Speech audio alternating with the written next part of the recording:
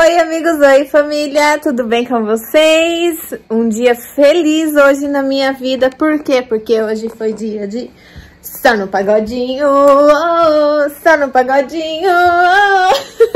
Acabei de chegar do serviço, só troquei de roupa só. E já vim gravar esse vídeo porque eu prometi pra vocês que quando eu recebesse o meu primeiro salário, eu iria vir aqui dividir e falar pra vocês quanto que eu tô ganhando. Ai, Poliana, que coisa deselegante, não precisa falar quanto você ganha. Precisa, porque todo mundo me perguntou e eu acho que é legal para vocês terem uma ideia, né? É, outra coisa, eu vou converter em reais, obviamente, para vocês saberem, porém, vou falar para vocês o que, que eu conseguiria pagar com isso daqui, porque quando a gente converte, o valor que se ganha aqui no Japão dá um valor bem alto. Aí você fala, caraca, se eu ganhasse um salário desse, tava estourado. Só que, né, gente, o custo de vida também é completamente diferente. Se, se a gente convertesse para reais, mas o custo de vida fosse igual ao do Brasil, aí tava suave, nada. Mas não é bem assim, né? Então, ó, vem assim.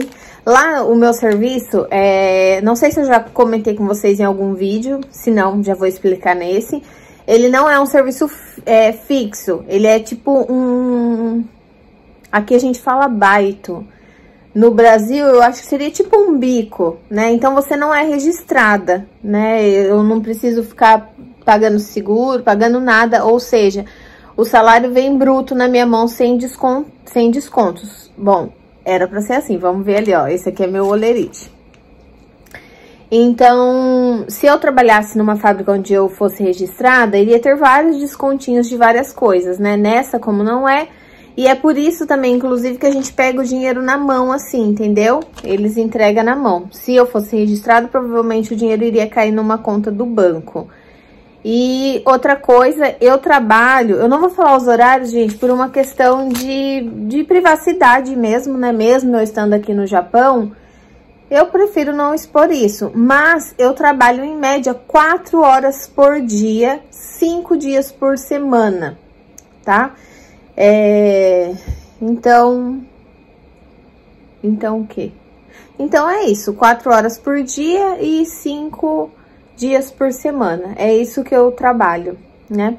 É um horário ótimo porque eu consigo é, cuidar da casa, eu consigo ficar com as crianças, eu consigo continuar com o meu trabalho na internet. Então, para mim, tá sendo perfeito, perfeito, perfeito. Para quem ainda não sabe, não viu o vídeo, né, do que que eu trabalho? Eu trabalho em um, em um mercado de marmitas, em um mercado de obentô. Lá tem três cozinhas, né? A cozinha principal, onde eles montam os bentô mesmo. É a cozinha do lado da minha, que é onde faz a fritura. E a cozinha onde eu trabalho, que é onde a gente prepara as misturas, vamos se dizer assim.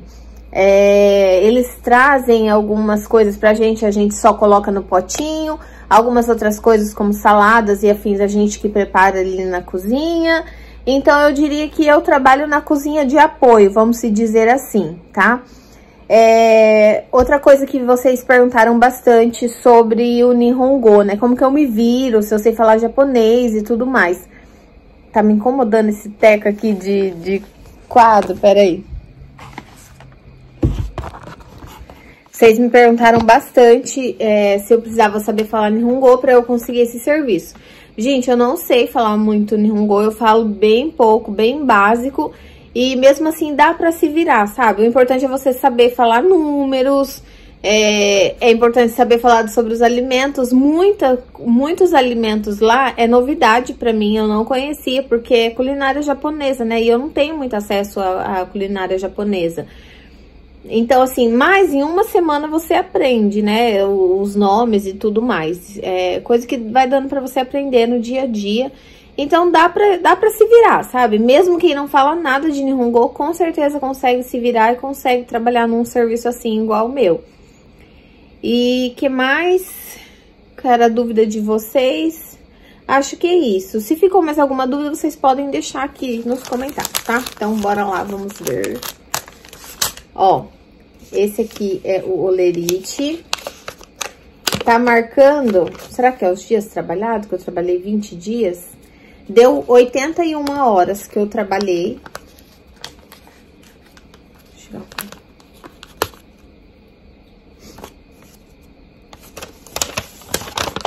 Se eu não tô entendendo errado, depois eu vou colocar a tradução aqui. Se tiver errado, eu, eu arrumo aqui pra vocês.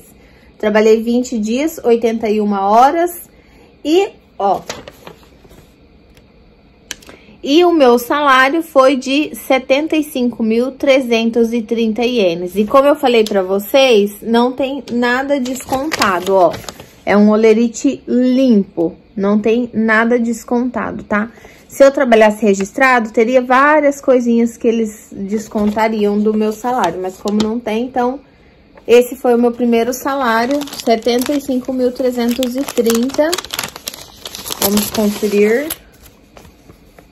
Essa aqui é a maior nota do Japão, de Itiman, né? 10 mil. Bem bonita, né, gente? Essa daqui é a de 5 mil. Então, 10, 20, 30, 40, 50, 60, 70 e 5 mil.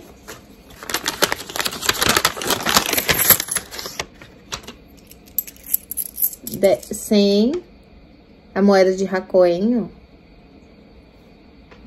Tem vídeo aqui no canal mostrando o dinheiro do Japão, tá? 100, 200, 330 ienes.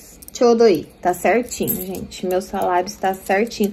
Eu vou conferir ali depois na folhinha se bateu, né? Porque eu anoto, obviamente, os dias que eu trabalho, tudo certinho. E foi isso. Tá, vamos lá. O que que eu conseguiria pagar com esse valor aqui, né? Com o que eu ganhei do meu salário. Eu pagaria as compras da minha casa por três semanas.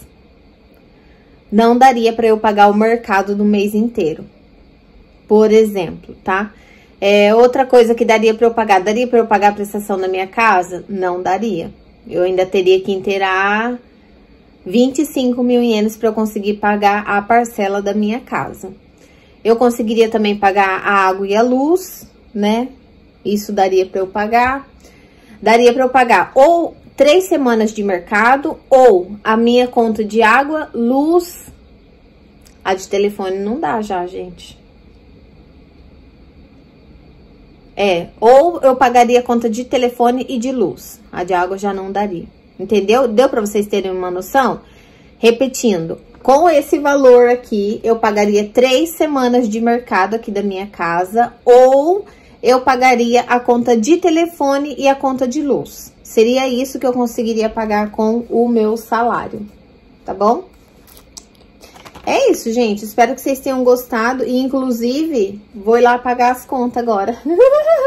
é isso que eu vou fazer com o meu salário. Vou ver se eu filmo pra vocês. Ah, se ficou qualquer dúvida, deixa aqui nos comentários, tá? Depois eu, ou eu respondo aqui nos comentários mesmo, ou eu respondo num próximo vídeo, tá bom? Ó, vou pagar a conta no Combine. Tô com elas aqui. E lá se vai o meu salarinho. Hoje a mamãe recebeu o primeiro salário. Ixi. Ai, konnichiwa.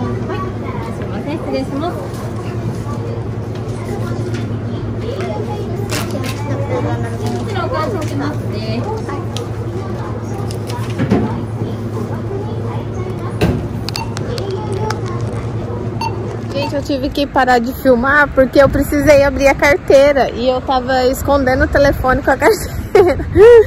Mas tá aqui, ó, conta paga. Paguei uma conta de luz que tava atrasada do mês passado e a conta desse mês e uma conta da JAF, não sei do que que era lá, de 4 mil ienes e acabou meu salário. Ou seja, esse mês eu trabalhei o mês inteiro só para pagar a conta de luz da minha casa, tá? Que foi a luz do mês passado e a desse mês, juntou, tá aqui, ó. E é isso, gente. Aqui no Japão, infelizmente, a vida nossa não tá tão diferente da do Brasil. A gente literalmente está trabalhando só para pagar a conta. Sair, luxar, tá dando mais não. foi o tempo, foi o tempo que se luxava aqui no Japão, viu? Que agora fui já buscar minha boneca, né, filha?